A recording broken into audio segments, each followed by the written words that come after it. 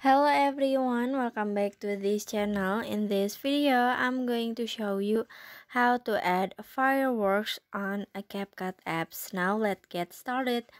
First, after you open your CapCut apps and add the video that you want to edit, if you want to add a fireworks on a CapCut, it's so pretty simple. So you just click on the effect at the bottom. And after this, you can click on the video effect.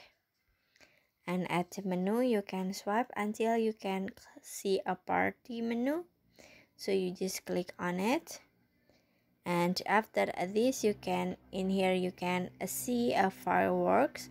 This is the fireworks effect on a CapCut. So you just click on it. And after this you can click a check icon in here now you can adjust the effect so you can click on the adjust at the bottom.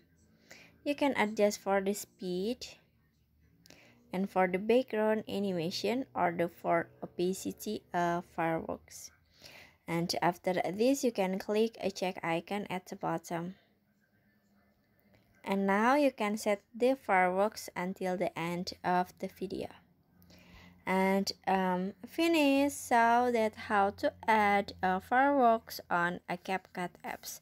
I hope you found this video to be helpful. If you enjoy with the content, please consider like, comment, and subscribe down below. Bye-bye.